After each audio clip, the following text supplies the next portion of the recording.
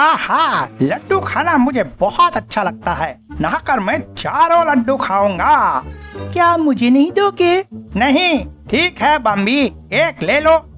वाह लड्डू स्वादिष्ट तीन बज गए मेरे लिए अब भी काफ़ी हैं। जब तो मुझसे मिठाई क्यों छुपा रहे हो?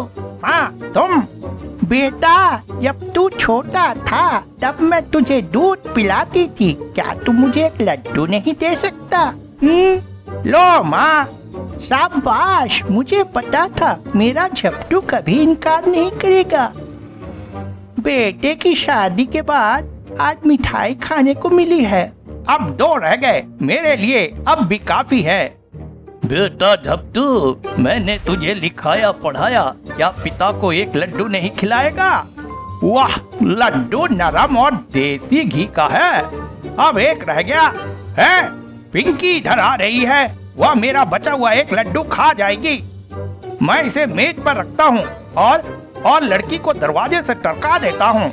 देखो पिंकी, इस वक्त मैं ज़रूरी काम में व्यस्त हूँ। तुम यहाँ से चली जाओ तो बेहतर है।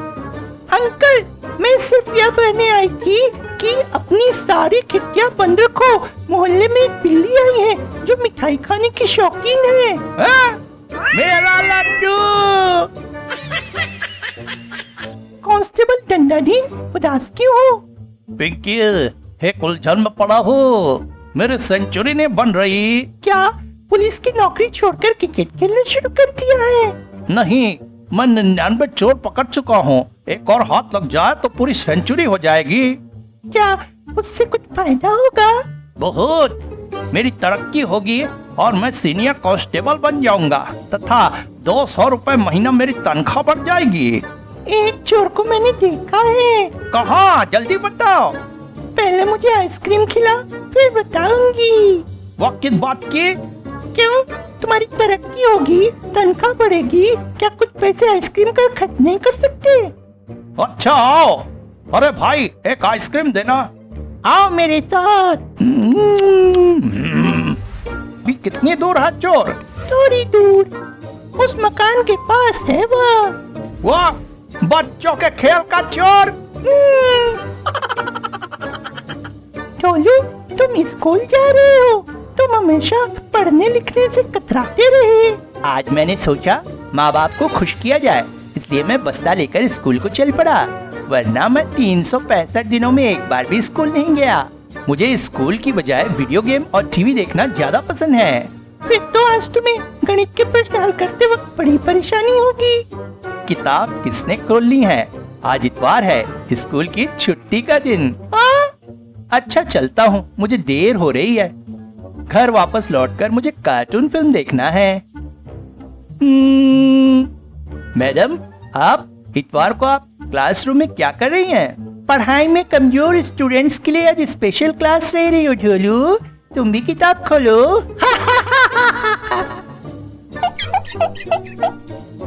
दादाजी क्या ढूंढ रहे हैं? चुराबे नहीं मिल रही। वो तो आपने पहन रखी है। मगर दो अलग अलग किस्म की। अगर दूसरा जोड़ा मिल जाए तो मैं जुराबों का मैच करके पहन सकता हूँ। मैं चुराबे ढूँढने में मदद करूँ? मैंने कमरे का कोना कोना छान मारा मगर वे नहीं मिली। कोई और तरकीब सोची जाए? क्या? एक मिनट ठहरो मैं अभी आई। ये कम्बोर्ड पहन लो पता नहीं चलेगा कि इनके अंदर आपने दो अलग अलग जुराबे पहन रखी हैं। हम्म, हम्म, हम्म। तरकीब कामयाब रही। अब आप चलकर देखो। ओ! अब मैं कैसे देख सकूँगा? इसका भी उपाय है। हम्म, ऐनक में जिस तरफ़ शीशा टूटा है उस तरफ़ की आँख पर पट्टी बाँध देती हूँ।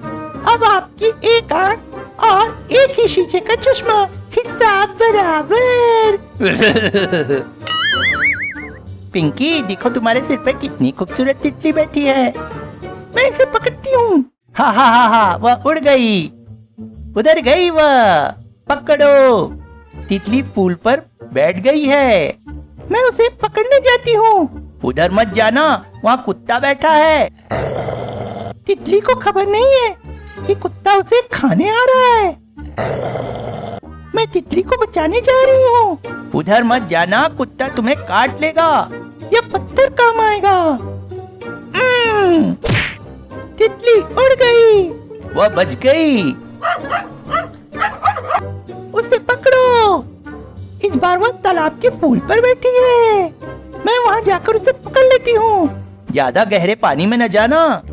एक क्षण बाद वह मेरे हाथ में होगी। आओ! वह फिर निकल गई। वह जा रही है। उफ! भागते हुए मेरी सांस फूल गई। चंपू घर आ गया है। क्यों ना हम दूध पीकर ताज़ा जम हो जाए? फिर तितली को पकड़ेंगे। ठीक है। बच्चों दूध का वक्त हो गया है। देखो वही तितली हमारे घर पर आ गई है।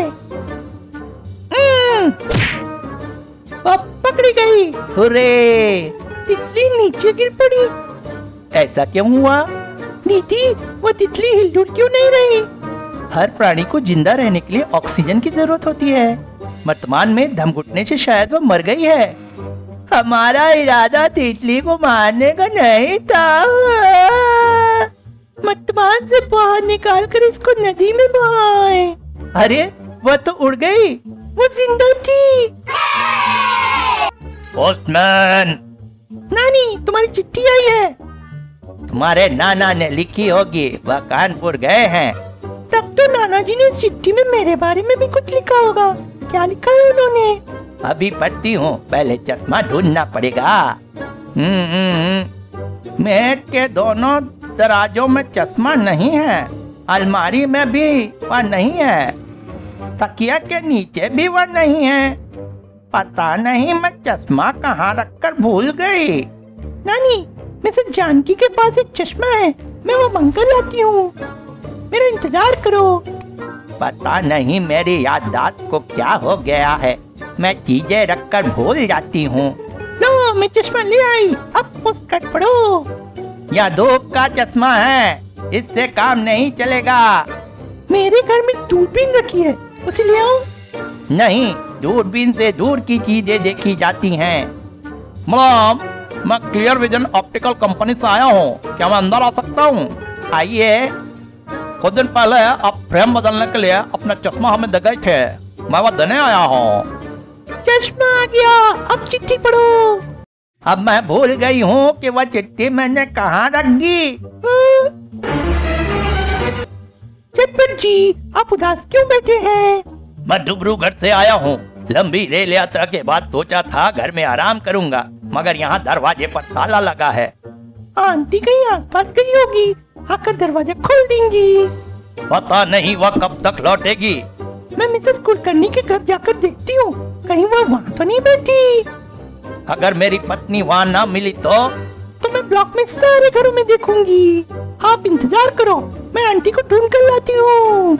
मिसेस कुलकर्णी क्या मिसेस झटपट अब क्या है? नहीं पिंकी। मुझे आगे जाना चाहिए।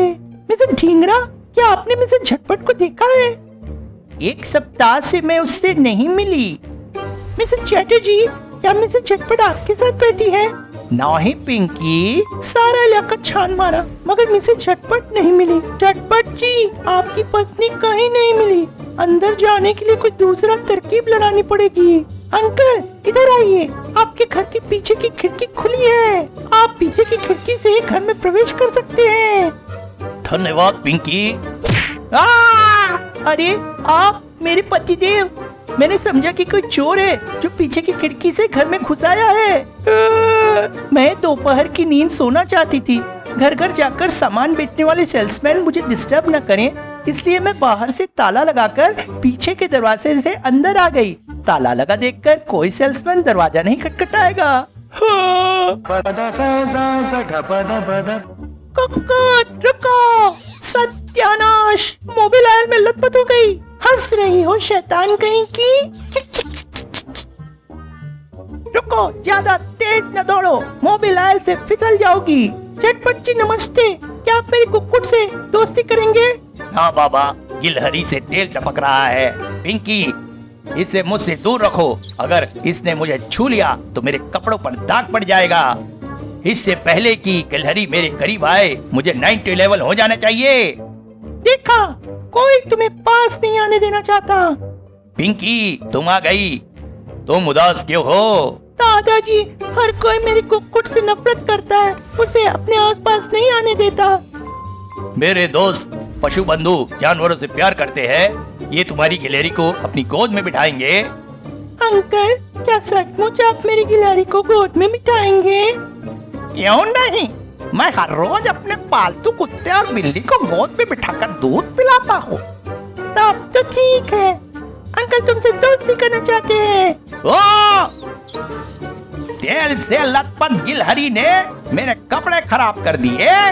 विशंबर दास आज से हमारी दोस्ती खत्म। अब मैं कभी तुम्हारे घर नहीं आऊँगा।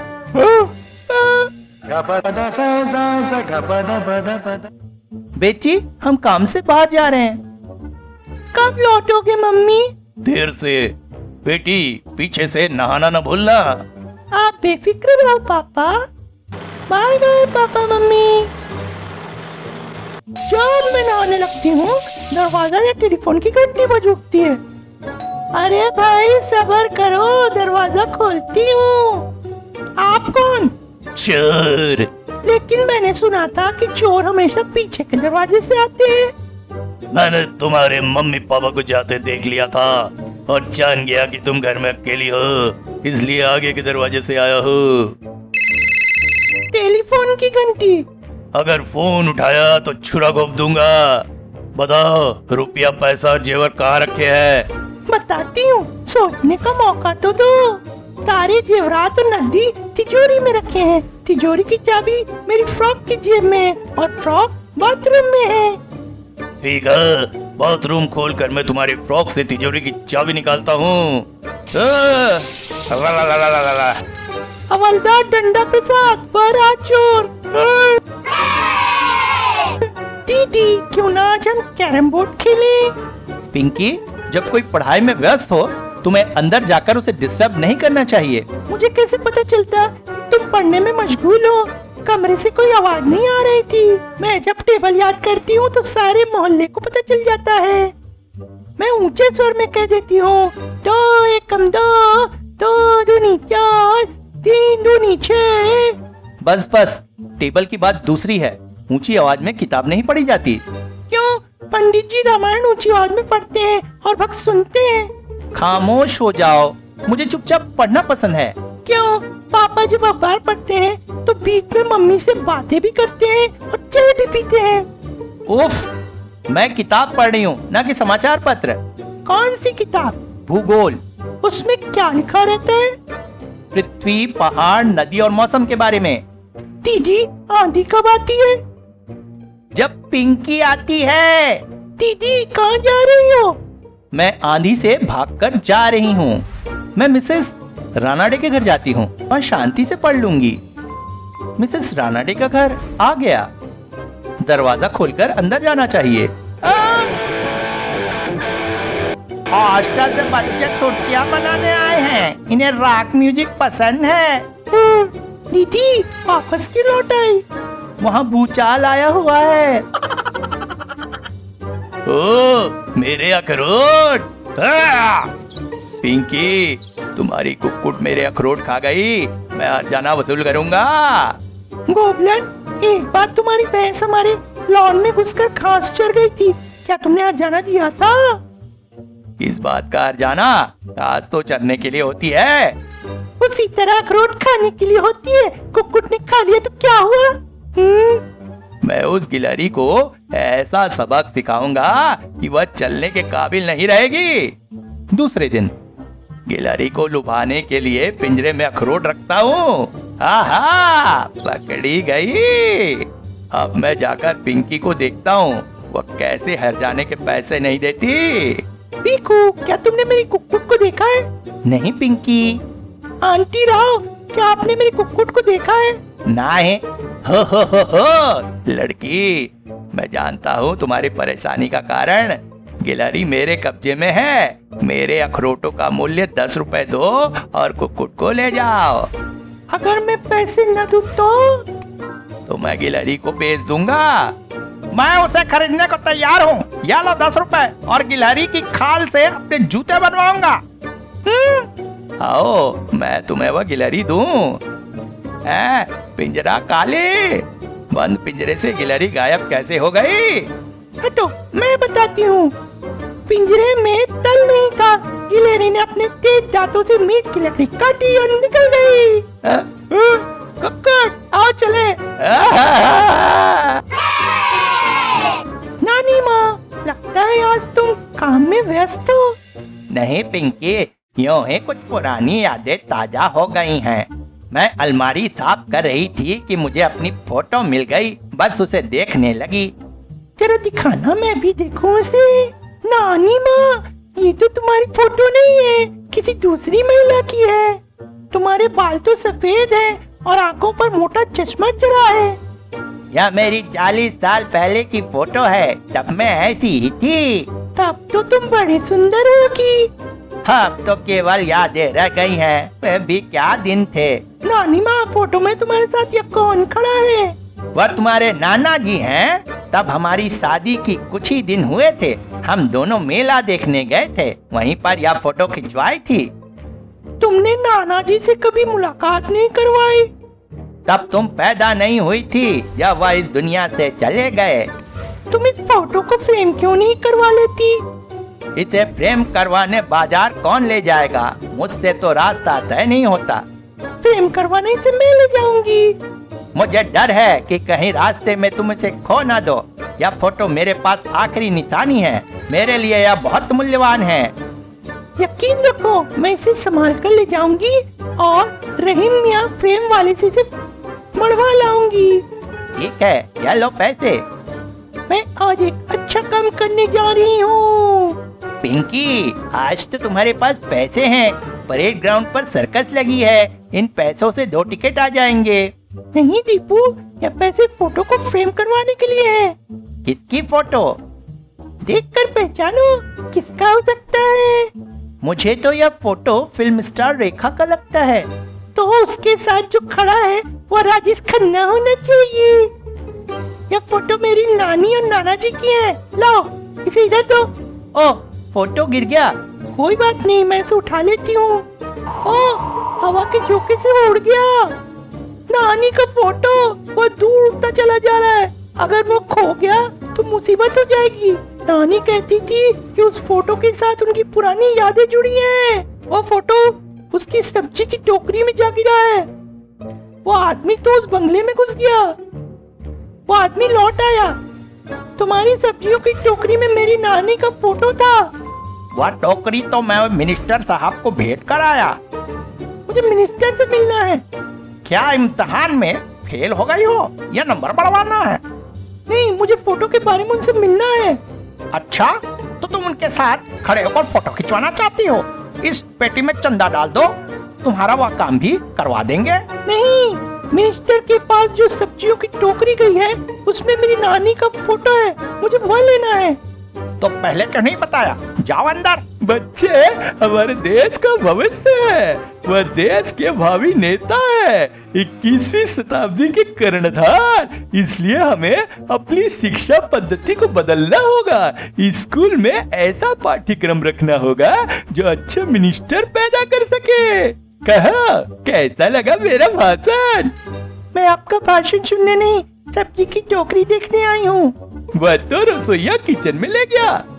सब्ज़ी की टोकरी में फ़ोटो फालतू तो लगता है। इसे भट्टी में डाल दो तो ताप तेज हो जाएगा। रुको फ़ोटो भट्टी में न डालना वो मेरी नानी की अमूल्य यादगार है। शुक्र है फ़ोटो बच गया। अब बिना किए मुझे रहीम मियाँ फ्रेम वाले के पास पहुँचना चाहिए। अगर बिना माउंट के फ्रेम कराओगे तो दस रुपए माउंट के साथ पंद्रह रुपए। माउंट के साथ बना दो। ठीक है कल आकर ले जाना। क्या फ़ोटो का फ्रेम अभी नहीं लग सकता? ठीक है वहाँ दूर बैठ जाओ। जब तस्वीर तैयार हो जाएगी तो मैं तुम्हें बुला लूँगा। दूर क्यों?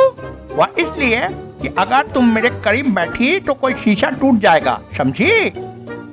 पता नहीं यह रही मियाँ इतने गर्म मिजाज क्यों है मियाँ क्या तस्वीर तैयार हो गई है? अभी नहीं। अगर तुम चुप नहीं रहोगी तो यह तस्वीर कभी तैयार नहीं होगी। लो तस्वीर तैयार है। नहीं मियाँ तुम कितने अच्छे हो। पर यह तो मेरी नानी की तस्वीर नहीं है। तुम जल्दी में दूसरी तस्वीर उठा लो तो इसमें मेरा क्या कसूर? इसे इधर दो या रही तुम्हारी तस्वीर। नानी माँ मैं तस्वीर मरवा लाई। सच पिंकी इस दीवार पे यह तस्वीर कैसी रहेगी? बहुत खूबसूरत। आज संगीत का अभ्यास किया जाए।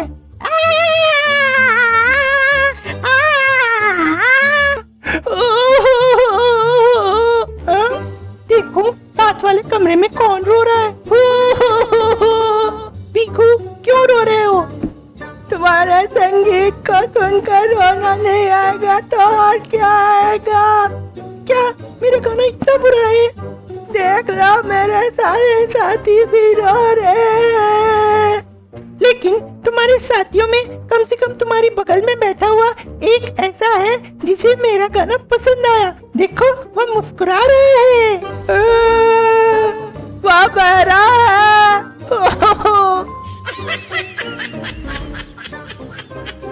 पकड़ी दास, तू मुझे हमेशा चिढ़ाकर भाग जाता है। आज इस छड़ी से तेरा सर फोड़ दूँगी। पिंकी, तू मेरा कुछ नहीं बिगाड़ सकती। तेरी यह हिम्मत ठहर, अभी मुझे दिखाती हूँ। हम्म। अरे छड़ी टूट गई। कोई बात नहीं, मैं इस लाठी से तुम्हारा सिर तोड़ती हूँ। यह भी मेरा कुछ नहीं बिगाड़ सकेगी। हम्म। है, यह भी टूट गई। पकड़ी दास बता इसका राज क्या है? अभी बताता हूँ। मैंने पगड़ी के नीचे लोहे का हेलमेट पहना हुआ है। आ! मम्मी शॉपिंग करके लौट रही है। ज़रूर कोई खाने की चीज़ लाई होगी। वैसे तो वो मुझे देगी नहीं। कोई टिक्का मिलानी चाहिए। यह चॉकलेट इस मेज पर रख दूँ? और यह कस्टर्ड पाउडर इसे भी मेज पर रख देती हूँ। अरे, चॉकलेट कहाँ गए? लगता है बिल्ली उन्हें उठाकर ले गई होगी। टॉमी, देखो चॉकलेट को बिल्ली ले गई है। उसे ढूंढो। अरे, टॉमी! मेरी फ्रॉक छोड़ टॉमी अच्छा तो यह रही बिल्ली। चिंपू आओ टेबल टेनिस खेलें। ठीक है। लो संभालो मेरी सर्विस। हम्म, हाँ? मेरी गेंद। हम्म, हम्म। चंपू तैयार हो जाओ फिर से खेल शुरू होता है। अरे अंडा। दरवाजे पर कौन है? नमस्ते मैं मनोरंजन से भरपूर पत्रिकाएँ बेच रहा हूँ। इनमें पराग लोटपोट लंदन वगैरह है। क्योंकि आज मेरा जन्मदिन है इसलिए सारी पत्रिकाओं पर 50 प्रतिशत डिस्काउंट दे रहा हूँ। ऐसी बात है?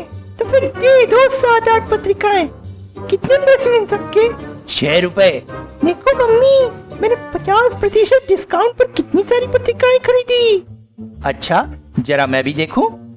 धर्मयुग 20 नवंबर 1966 लोटपोट अंक 307 पराग मार्च 1974 मायापुरी अंक 185 मनोहर कहानियाँ अगस्त 1965 लो मुसीबत आ गई। अंकल जी क्या मैं आपकी मदद कर सकती हूँ? अगर तुम मेरी मदद करना चाहती हो तो यहाँ से चली जाओ। यह मदद का कौन सा तरीका है? तुम जितनी देर यहाँ खड़ी रहोगी, मेरा दिमाग चाटती रहोगी और मेरा काम रुका रहेगा। लो, मैं चुपचाप खड़ी रहती हूँ। फिर भी मुझे डर है कि कहीं तुम ठोकर मारकर रंग न गिरा दो या कोई नुकसान न कर दो। लो, मैं दूर उस कुर्सी पर बैठ जाती हूँ। ओह तुमने यह क्या कर दिया? क्यों? इस कुर्सी को मैंने अभी पेंट किया है, उसका रंग गीला है। ओ, मेरी अरे चंपू उदास क्यों उस मकान में एक बूढ़ा वैज्ञानिक गैलीलियो रहता है। वह दिन रात आसमान में नए नए सितारों की खोज करता रहता है। उसने प्रण कर रखा है कि जब तक नया सितारा न खोज लेगा खाना न खाएगा वह छह दिन से भूखा है कहीं मर न जाए। जाओ उससे कहो कि अपना टेलीस्कोप दूसरी खिड़की पर ले जाए सितारा ज़रूर मिलेगा।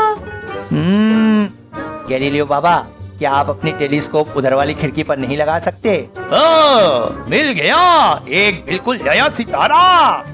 अब मैं चैन से रोटी खा सकता हूँ। धन्यवाद पिंकी। पिंकी मेरे से दूर हो जाओ मेरी कोई चीज़ टूट जाएगी। पापा आप बेफिक्र रहो। देखा तुमने मेरा चश्मा तोड़ दिया ना? पापा मैं आपका नुकसान पूरा कर दूँगी। कैसे? आपको दूसरा चश्मा ला कर दूँगी। मगर दूसरा चश्मा कहाँ से लाओगी बाज़ार से। मगर बाज़ार से कैसे लाओगी पैसे देकर। पैसे कहाँ से आएँगे? आपसे। हाँ? अरे पिंकी कहाँ जा रही है? इस चूहे को कहीं छोड़ने जा रही हूँ। दूर छोड़कर आना ताकि अब फिर कहीं लौट कर ना आ जाए। इंजीनियर साहब क्यों दर्द बैठे हैं? मुझे इस तार को पाइप के इस सिरे में डालकर उस सिरे से निकालना है। यह काम मुझसे नहीं हो रहा। ये तो बहुत आसान है। इस चूहे की पूंछ पर रस्सी बाँध दीजिए। लो बाँध दिया। अब मैं चूहे को पाइप पर छोड़ देती हूँ। इंजीनियर साहब दौड़ो। चूहा पाइप को उस पार की तरफ़ भागा जा रहा है हाँ चूहा बाहर आ गया और उसके साथ धागा भी। अब चूहे को खोलकर छोड़ दो। दादाजी आप कुछ परेशान नज़र आ रहे हैं। हाँ। हॉकर मेरा अखबार फेंक कर नहीं गया। तो इसमें परेशान होने की क्या बात है? तुम नहीं जानती पिंकी अगर सुबह सुबह अखबार न मिले तो मुझे बड़ी बेचैनी होती है। लगता है मेरी दिनचर्या में कुछ खो गया। जिस दिन अखबार न मिले ठीक से खाना भी हजम नहीं होता। दादाजी क्या अखबार और कहीं से नहीं मिल सकता? मिल सकता है बाज़ार से। पिंकी ये लो पैसे। अगर तू बाज़ार से मुझे अखबार ला देगी तो मैं तुझे एक टॉफी दूँगा। अभी लाई। हम्म, दादाजी यार अखबार। शाबाश यह रही टॉफी। पिंकी बाज़ार तो दूर है पर तू अखबार लेकर इतनी जल्दी कैसे आ गई? रद्दी वाला पास ही मिल गया था। क्या? दो महीने पुराना अखबार?